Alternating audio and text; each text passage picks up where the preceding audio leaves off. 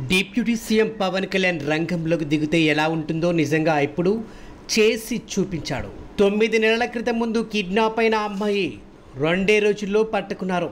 అది పవన్ కళ్యాణ్ పవర్ అంటే ప్రస్తుతం ఈ వీడియో సోషల్ మీడియాలో సెన్సేషనల్ అవుతుంది.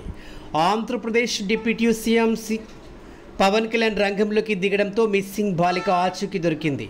దాదాపు తొమ్మిది నెలల తర్వాత ఆ అమ్మాయి ఎక్కడుందో విజయవాడ పోలీసులు కనిపెట్టారు. ఇటీవలే డిప్యూటీ సీఎం పవన్ కళ్యాణ్ పశ్చిమ గోదావరి జిల్లా భీమవరంకు చెందిన శివకుమారి ఆమెను కలిశారు. తన కుమార్తె కనిపించడం లేదని ఫిర్యాదు చేశారు. వెంటనే రంగంలోకి దిగిన పవన్ బాలిక మిస్సింగ్ కేసు వ్యవహారంలో సిఐకి ఫోన్ చేసి డిప్యూటీ సీఎం స్వయంగా మాట్లాడారు.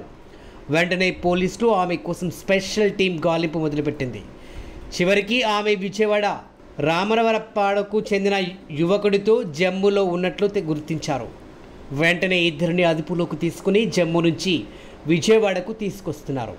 అయితే విజయవాడలో డిప్యూటీ సీఎం పవన్ కళ్యాణ్ను బాలిక తల్లి కలిశారు. విజయవాడలో తన కుమార్తె చదువుకుంటుందని మైనర్ అయిన ఆమెను ప్రేమ పేరుతో ఓ యువకుడు ట్రాప్ చేశాడని ఫిర్యాదు చేశారు. తాము విజయవాడ మాచవరం పోలీస్ స్టేషన్లో ఫిర్యాదు చేశామని తమ కుమార్తె జాడ తెలిసిన పోలీసులు స్పందించడం లేదని కన్నీటి పర్యంతమయ్యారు. పోలీసులు మిస్సింగ్ కేసు నమోదు చేశారని ఎఫ్ఐఆర్ కాపీని కూడా డిప్యూటీ సీఎంకు అందజేశారు. ఆ వెంటనే పవన్ కళ్యాణ్ మార్చవరం సీఐకి కాల్ ఇచ్చేశారు వెంటనే చర్యలు తీసుకోవాలని ఆదేశించారు పవన్.